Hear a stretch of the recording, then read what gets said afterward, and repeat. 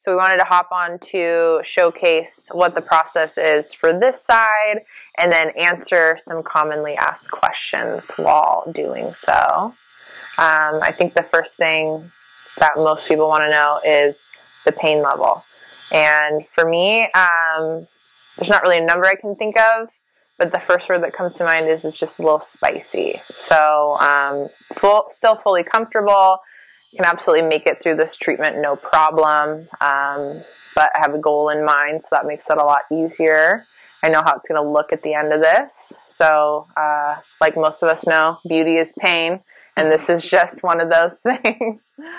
the next most common question that we get is what to expect it to look like after your first treatment.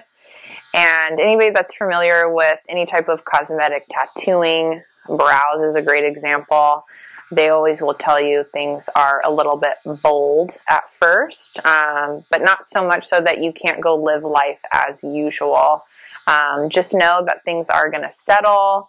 This first kind of appointment is going to be a little bit darker than what it is going to heal like. Things are going to shrink and look much more natural.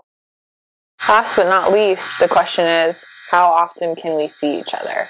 I know you guys are eager for results, but we always wait two weeks in between sessions just to prevent pigment migration and the dreaded helmet head look. So trust us that two weeks is optimal. You will see at least a 30% increase in fullness each time we see each other, and that is only going to get better with our following treatments.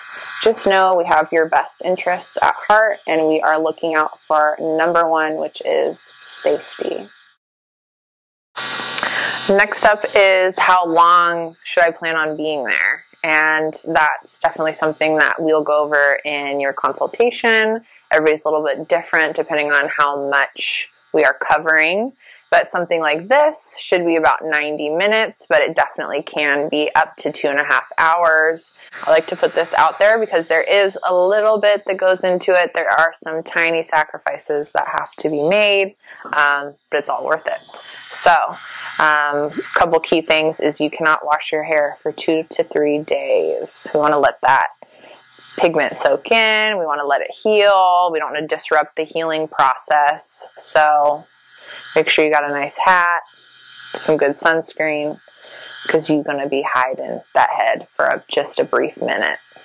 Um, also, in that time, we don't want any heavy sweating. So, for my active gals out there, you got to take a little break. Again, promise it's worth it. Nothing with heavy activity. So, our hot yoga or my cycle queens, brief break. And most importantly, in our aftercare, is to slap it, don't scratch it. Write it down, memorize it. It's key. So clean hands. If that scalp is feeling itchy, just a good old slap, slap, slap will do. Cut that out. keeping that in. If you've got a partner that's mad at you, let them give you a little slap. Let's talk about domestic violence. You're so close. I can't think of it. You're so close. I've lost it. Don't say the most important.